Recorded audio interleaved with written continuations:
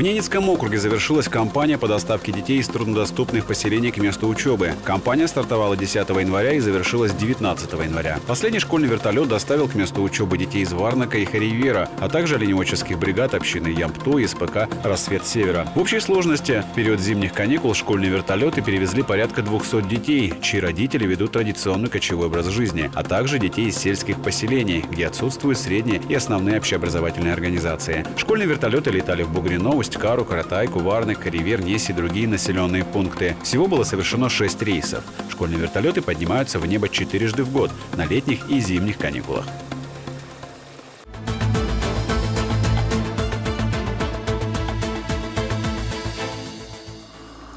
Подведены итоги независимой оценки качества условий оказания услуг окружными учреждениями культуры, образования, социального обслуживания и здравоохранения за 2021 год. Всего проверили 29 учреждений. Такое исследование проводится не реже одного раза в три года. Его целью является определение результативности и качества предоставляемых услуг организациями социальной сферы. Основные критерии оценивания определены федеральным законодательством и методическими рекомендациями профильных министерств. В их числе открытость и доступность информации об организации, информации, комфортность условий предоставления услуг и доступность их получения, время ожидания, доброжелательность, вежливость и компетентность специалистов, а также удовлетворенность оказанными услугами в целом. Жители округа, получающие услуги в сфере культуры, высказали мнение о необходимости ремонта зданий домов культуры, обновлению материально-технической базы и возобновлению мероприятий в очном режиме. Максимальное значение в рейтинге учреждений культуры получил Тельвисочный социально-культурный центр «Престиж», набрав 99,7 баллов из 100 возможных. В сфере образования опрошенные отметили необходимость повышения доступности услуг для лиц с ограниченными возможностями здоровья в образовательных организациях округа. Наивысшую оценку получил Дворец спорта «Норд» — это 95,5 баллов. Лидером рейтинга среди организаций социального обслуживания стал комплексный центр социального обслуживания, получивший 99,8 баллов из 100 возможных. Среди организаций здравоохранения лидером стал окружной противотуберкулезный диспансер, который набрал более 97 баллов. По итогам независимой оценки будут разработаны планы по устранению выявленных в ее ходе недостатков. Главная цель таких мероприятий – повышение качества жизни людей, вывод на качественно новый уровень работы учреждений социальной сферы региона.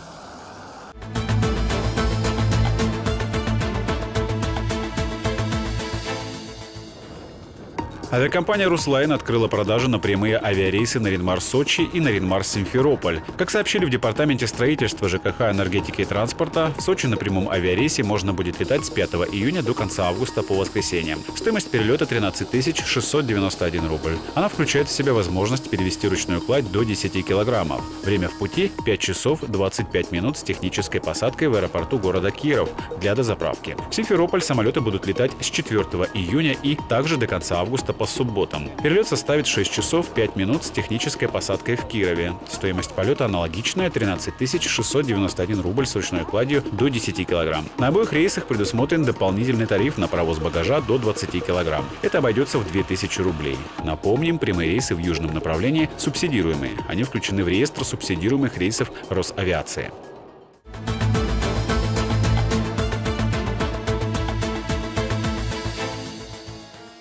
Департамент образования, культуры и спорта продолжает прием документов на соискание премии за особые достижения в сфере культуры по итогам 2021 года. Заявки соискателей принимаются до 11 февраля. В конкурсе могут принять участие граждане, творческие коллективы и организации, внесшие значительный вклад в культурную жизнь региона в 2021 году. Размер премии составляет порядка 20 тысяч рублей. Она может быть вручена как одному соискателю, так и творческому коллективу. Прием документов осуществляется по пяти номинациям – искусство, библиотечное дело, музейное дело, и охрана памятников, народное творчество и декоративно-прикладное искусство. Объявление победителей состоится в марте после рассмотрения претендентов на заседании коллегии Департамента образования, культуры и спорта НАО по вопросам культуры. Соискатели, которым присуждаются премии, будут определены членами коллегии путем тайного голосования. Премия была учреждена в 2010 году. За весь период существования ее удостоены 55 человек, внесшие существенный вклад в развитие культуры.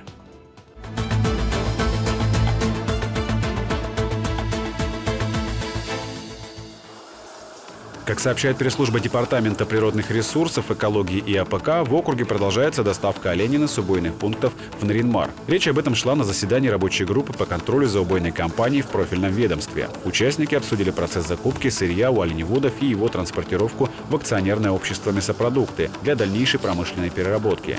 По информации предприятия, доставка свежей оленины в Наринмар осуществляется авиа и автотранспортом. В январе планируется вывести вертолетами еще более 100 тонн оленины из Нижней Пеши, Коткина и Неси. При условии устойчивой благоприятной погоды в январе и феврале продолжится вывоз оленины из хозяйств по зимним автодорогам. В декабре прошлого года были доставлены первые 110 тонн из поселков Красное и Харьягинские. Их завезли машинами. Вертолетами на предприятие доставлено еще 35 тонн из поселка Индиго и села Нижняя Пеша. Особое внимание представители основного перерабатывающего предприятия обратили на неукоснительное выполнение поручения губернатора округа в части приемки мяса у оленеводов. Ранее глава региона Юрий Бездудный распорядился принимать у хозяйств весь объем произведенной ими оленины.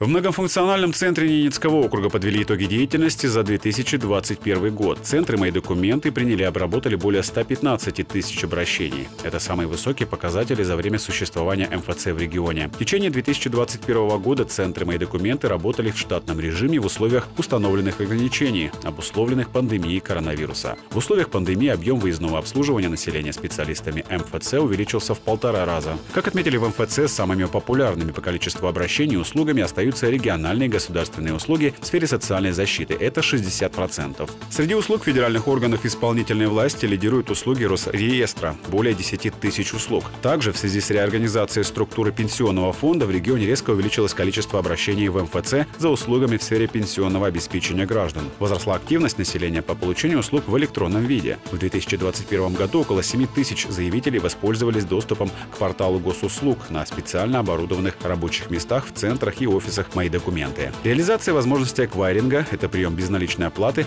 проведенная в МФЦ в прошлые годы, способствовала не только упрощению процедуры получения государственных услуг, за которые установлена госпошлина или плата, но и популяризации самих платежей непосредственно в МФЦ. Так, за 2021 год через терминалы оплаты, установленные во всех окнах обслуживания, заявителей принято более 5000 платежей, что на 33% больше, чем в предыдущем году.